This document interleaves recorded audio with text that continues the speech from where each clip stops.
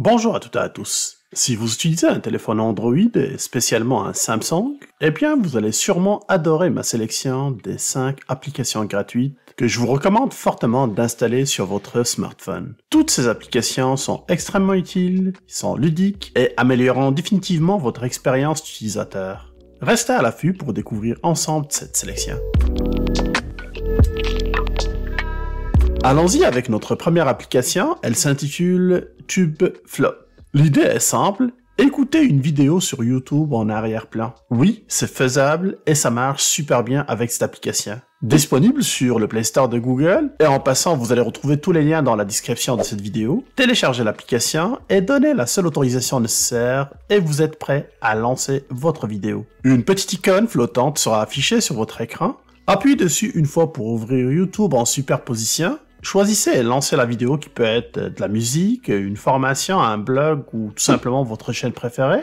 Puis appuyez une seconde fois sur la même icône pour masquer le tout. Vous allez constater que la vidéo continue de jouer en arrière-plan.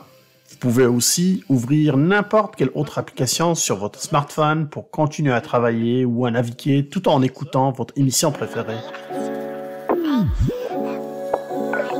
Restons dans le même contenu multimédia, et cette fois-ci, j'ai le goût de vous présenter une application qui va vous proposer une multitude de chaînes télé et de vidéos sur demande, et encore une fois, 100% gratuite.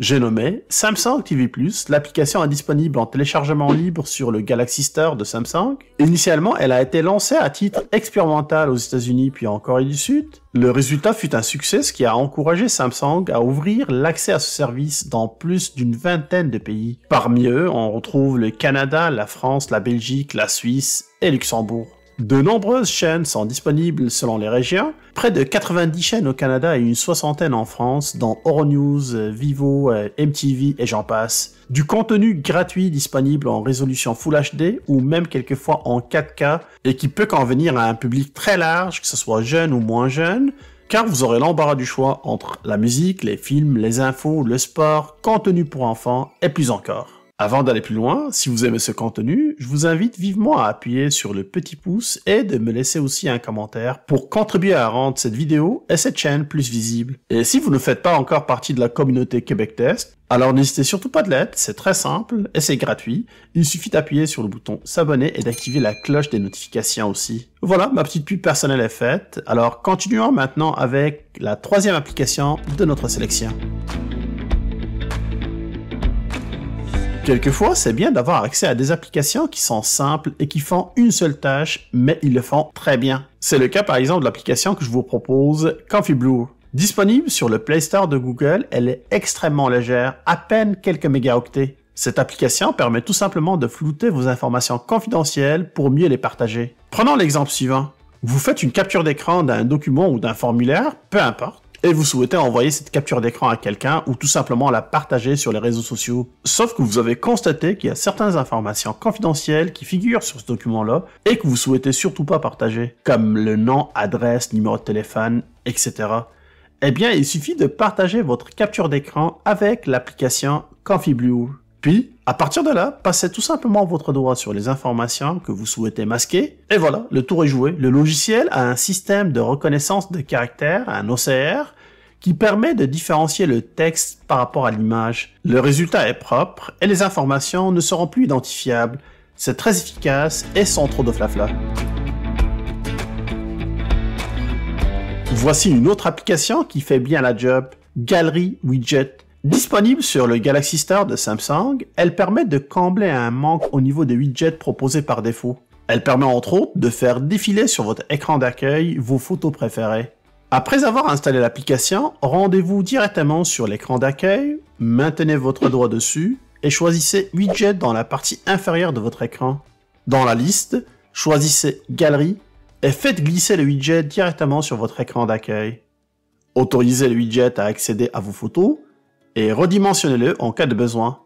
Maintenant, pour configurer ce widget, maintenez tout simplement votre doigt dessus, puis choisissez Paramètres. La première option vous donne l'occasion de choisir les images qui seront affichées. Vous pouvez choisir par exemple un dossier en particulier ou des images spécifiques.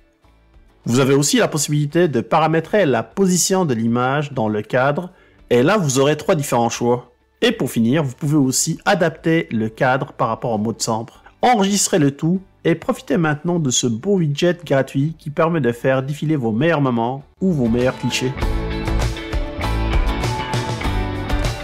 Ma dernière application est non la moindre car euh, c'est une proposition qui est beaucoup plus complète par rapport à ce qu'on retrouve par défaut sur notre téléphone Samsung. L'application se nomme l'enregistreur vocal Samsung ou Voice Recorder.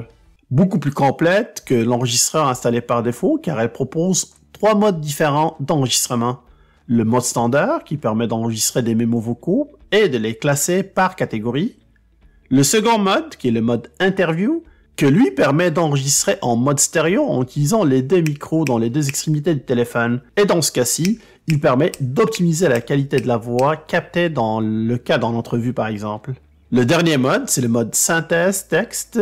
Son rôle, c'est de convertir vos paroles en texte en temps réel, comme vous pouvez le voir avec cet exemple-là.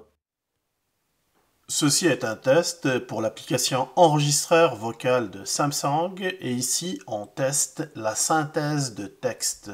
Et voilà, avec le Voice Recorder, cette euh, vidéo touche à sa fin. J'espère que vous avez apprécié cette sélection. Si c'est le cas, n'hésitez surtout pas de liker la vidéo et de la partager. Et faites-moi savoir dans les commentaires votre application préférée ou vos propositions d'applications gratuites que vous utilisez le plus. Québec Test est en route vers les 100 000 abonnés, alors euh, faites partie du voyage et réservez votre place parmi nous en s'abonnant et en activant les notifications. Un gros merci pour votre soutien et je vous donne rendez-vous très bientôt avec euh, une nouvelle vidéo. D'ici là, portez-vous bien et à plus